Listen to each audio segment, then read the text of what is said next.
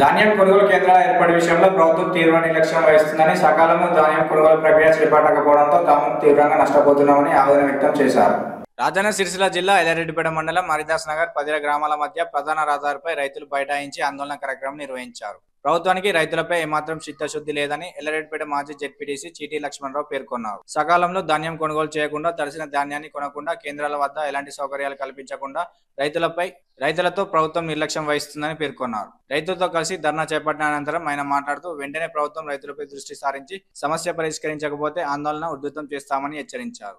కాగా రైతుల ఆందోళన వల్ల సిరిసిల్ల కామరెడ్డి ప్రధాన రహదారిపై రాకపోకలకు తీవ్ర అంతరాయం కలిగి ట్రాఫిక్ జామ్ కావడంతో పోలీసులు అక్కడికి చేరుకుని రైతులను శాంతింపజేశారు. సార్ నమస్తే సార్. సార్ ఒక్క నిమిషం సార్. సార్ మీరు ఏమంటున్నారు? ఈ- స్టార్ట్ చేస్తా అంటున్నారా ఒక్క నిమిషం. సార్, సార్, లౌడ్ స్పీకర్ పెట్టాము. వందలాది మంది రైతులు ఉన్నారు.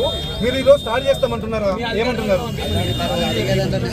మరి ఇరవై రోజుల క్రితం మనము ఓపెన్ చేసినాము రిపేర్ చేసాము ఇన్ని రోజులు సగం ధాన్యం బయటకు పోయింది. మరి ఇన్ని రోజులు ఏం చేసినట్టు సార్ మనం? అంటే ధాన్యం మొత్తం బయట అవుతాయి చేద్దాం పర్వాలేదు ఇప్పటికైనా థర్టీ పర్సెంట్ ఫార్టీ పర్సెంట్ ఉన్నది. అవైనా ఈ రోజు మీరు స్టార్ట్ చేస్తా అంటే మేము ఎస్ఐ గారు రిక్వెస్ట్ మన నుంచి మేము తక్కువ ఇక్కడ రిలీవ్ అవుతాం మీరు పక్కా ఇలా స్టార్ట్ చేస్తారా? ఆ? మీరు 100% start అవుతాం. సరే సార్ ఇప్పుడు పబ్లిక్ ఇబ్బంది అవుతుందని చెప్పి హాఫ్ అన్ అవర్ స్టార్ట్ అవుతుంది కమిట్మెంట్ ఇస్తుంది కదా సార్ పక్కా?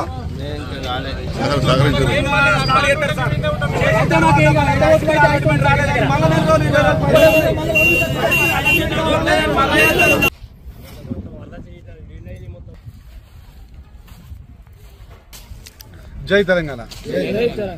అందరికీ నమస్కారం. ఈరోజు మండల వ్యాప్తంగా అన్ని గ్రామాల్లో అడ్డగోలు హామీలతోని అధికారంలోకి వచ్చిన కాంగ్రెస్ ప్రభుత్వం సుమారుగా రైతులందరూ అన్ని గ్రామాల్లో ఒక నెల రోజుల క్రితం పొలాలు వరి పొలాలు కోతకు బట్టి ఈరోజు ధాన్యం అంతా కళ్ళలకు వచ్చి సుమారుగా ఇరవై రోజుల నుంచి నెల రోజులు అవుతా ఉంది. ఏదైతే కాంగ్రెస్ ప్రభుత్వానికి సంబంధించిన నాయకులు అయితేంది ప్రభుత్వం అయితేంది ప్రభుత్వ యంత్రాంగం అయితేంది అన్ని కళ్ళాల్లో ఐకేపీ సెంటర్లు అయితేంది మిగతా ఎన్ని సెంటర్లో కూడా కొబ్బరికాయలు కొట్టి రిబ్బన్ కత్తిరించి ఈ రోజుకు ఇరవై ఐదు రోజులు అవుతా ఉంది. ఇరవై ఐదు రోజుల నుంచి మళ్ళీ ఒక్కళ్ళు కూడా కళ్ళాల్లోకి వచ్చి రైతుల పరిస్థితి ఏంది మీరు పండించుకున్న ధాన్యం పరిస్థితి ఏంది అని అడిగిన పాపాన పోలేదు.